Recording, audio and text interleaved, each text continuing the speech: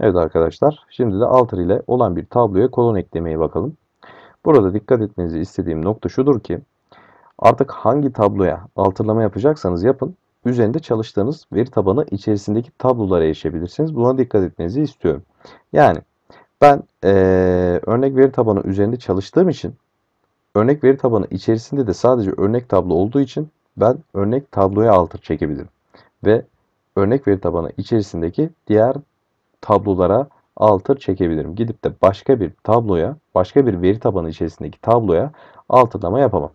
Buna dikkat etmenizi istiyorum. Şimdi yapmamız gereken alter table diyoruz. Bir tabloyu güncelleyeceğiz. Hangi tabloyu? Örnek tabloyu.